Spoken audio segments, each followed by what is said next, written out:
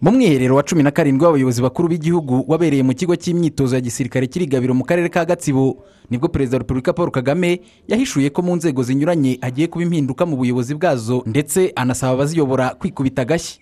Kuvuga mbabwira ntya biramfasha Ubu,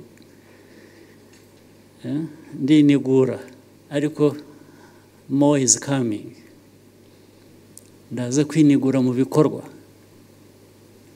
Karaza kubabaho rwose. Kandi ndashaka kugira ngo bizabe nababwiye nabararitse. Ariko muri uko kubararika ndanabasaba ndabinginze. Ndabasabye. Abasabye meyazi abayobozi b'ibigo. Abayobozi ba minisiteri. Abayobozi b'inzego. Ndabasabye. Ndabinginze. Ngo dukore neza ibyo tuzi neza ibyo tuzi bifite inyungu kuri twe twese ndabibasabye. Nyuma y'igihe kitageze no ku byumweru bibiri atangaje ibi perezida kagame yakoze impinduka muri guverinoma maze tariki makumyabiri n'esheshatu gashyantare bibiri na makumyabiri ashyiraho abaminisitiri batanu bashya n'abanyamabanga ba leta bane bashya n'undi umwe washyizwe kuri uwo mwanya avuye kwa minisitiri. Tariki ya cyenda werurwe kandi umukuru w'igihugu yongeye gukora andi mavugurura maze dr. Ngabitsinze jean chrysostome wari umudepite agirwa umunyamabanga wa leta muri minisiteri y'ubuhinzi n'ubworozi madamu bakuramutsa feza urujeni agirwa umuyobozi w'ibiro by'umukuru w'igihugu asimbuye madamu ines mpambara wari wagizwe minisitiri mu biro bya minisitiri w'intebe ushinzwe imirimo y'inama y'abaminisitiri. Izi mpinduka mu buyobozi bwa zimwe mu nzego nkuru z'igihugu ryakurikiwe n'ihagarikwa ku mirimo ry'uwari umunyamabanga wa leta muri minisiteri y'ububanyi n'amahanga ambasaderi olivier nduhungirehe ndetse n'uwari minisitiri w'umutekano general patrick nyamvumba. Abayobozi bombi bahagaritswe ku mirimo yabo mu kwezi gushize kwa kane. Ni mu gihe kandi mu minsi mike ishize uwari guverineri w'intara y'amajyepfo emmanuel gasana n'uwari guverineri w'intara y'amajyaruguru gatabazi jean marie vianney bombi bahagaritswe ku mirimo yabo. Dr eric ndushabandi impuguke muri politiki n'imiyoborere avuga ko impinduka nk'izi zishimangira ihame ryo kubaza inshingano buri wese. Umuntu ahita abona generasiyo y'abayobozi bamwe benshi bari mu myaka imwe. Icyo mvuga ni iki? Icyo mvuga ni umuntu ushobora kuba yarabohoje igihugu yaragize uruhare rukomeye ndetse muri iyo nzira ariko nyuma y'aho victoire cyangwa se insinzi ukibagirwa ko ari insinzi urekurira abaturage akaba ari bo batsinda noneho. Uba ugira ngo igihugu hari ibyo kikugomba wowe nk'umuntu ku giti cyawe ndetse bikagera n'aho wabyiha ku byo wari ushinzwe bya rubanda.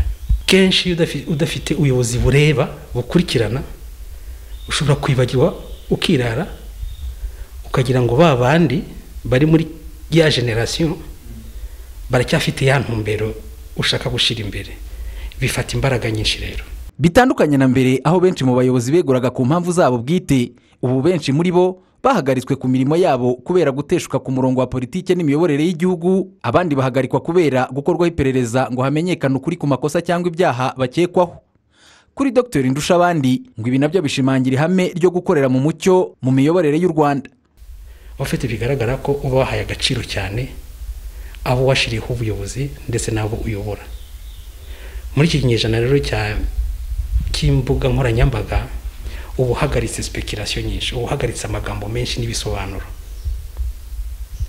Noneho wajya kureba no muri porofili ya ba bantu wabajije inshingano zabo ugasanga zitaruzuye neza ugasanga ari inzego zitandukanye ugasanga n'abantu bafite bakagarawundi zitandukanye. Biba bivuga ko icyemezo cyabaye objective cyangwa se cyashingiwe ku bintu bifatika ndetse witeguye no gusobanura imbere y'abaturage ndetse byajya no mu bucamanza cyangwa se iperereza rikorwa ukaba uvuga ngo mbifitiye gihamya koko ko umuntu yateshutse ku nshingano ze. Umwiherero w'abayobozi bakuru b'igihugu w'uyu mwaka wabaga ku nshuro ya cumi na karindwi wari ufite umwihariko wo kwitabirwa n'umubare munini w'urubyiruko ugereranyije n'indi yawubanjirije. Kuri rwibutso judith ndetse na hategekimana jean batiste ngo impinduka zawukurikiye zikubiyemo andi masomo ku babyiruka. Binyereka aho u rwanda rugeze bikanyereka n'icyerekezo u rwanda rwifuza. Iyo igihugu cyamaze gusobanukirwa icyerekezo cyacyo ni ho usanga hari kureba kuri buri nguni kureba kuri buri muyobozi. Nk'urubyiruko rubireba uko biba bintera kwiga. Mbikuramo amasomo menshi cyane. Amasomo avuga ngo ejo ejo bundi ndi urubyiruko. Ntawamenya wenda nzahabwa inshingano. Ese ndiga accountability icyo ari cyo nkiri aho ngaho. Ndebera kuri example z'ibirimo kuba kugira ngo nibura ejo bundi ningirirwa icyo cyizere nzagihagararemo neza. Ubwo rero urwego urwego uhawe rujyana n'inshingano uhawe kandi izo nshingano zigakomera kuruta wowe zikanakomera kuruta amarangamutima yawe. Iyo ubihagazemo neza rero ntekereza ko uba uri kumwe n'u rwanda ndetse n'imiyoborere myiza turangajwe imbere na nyakubahwa perezida wa repubulika. Agaciro k'umuntu ntabwo ari imyaka afite. Umuntu yaba afite n'imyaka ibiri itatu ine itanu icumi makumyabiri akagira ikintu kinini ageraho. Tuvuga ngo twebwe tukiri batoya naho turi mu ngero zitandukanye si ngombwa kuba ari umuyobozi gusa ngo uhagarare urwego runaka n'umuyobozi kuri bizinesi ye. Agomba kuba intangarugero ku buryo inshingano zuzuza ni ubuzima bwa buri munsi. Kimwe n'uko umuyobozi ashobora kuva aho yari ari nyuma y'uko hakozwe igenzura ugasanga wenda yanarenganaga. Akaba yahabwa n'izindi nshingano provided niba afite ubushake afite n'ubushobozi kandi yumva neza ibyo akora.